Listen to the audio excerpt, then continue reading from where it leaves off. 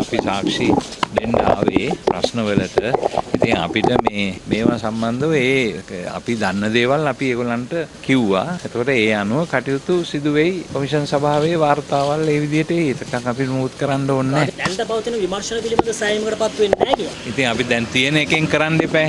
තියෙන තත්ත්වයෙන් ඉස්සරහට යනවා මිසක් අපිට අලුත් දේවල් ගැන හිතන්න බෑනේ. දැන් මෙතනින් මේ අපේ කොමිෂන් සභාවට බාර දීලා තියෙන ඒ වගකීම ඉෂ්ට කරන්න අපි ඒගොල්ලන්ට සහාය වෙමු. එතකොට ඒගොල්ලන්ගෙන් ලැබෙන ප්‍රතිචාර අනුව අපිට බලන්න පුළුවන් ඒක. කොමිෂන් සභාව ඒගොල්ලන්ගේ වගකීම ඉෂ්ට කරાવી. කොමිෂන් සභාවට තියෙනවානේ මේ නිදහස සහ බලය ඒගොල්ලෝ ඒක කරා.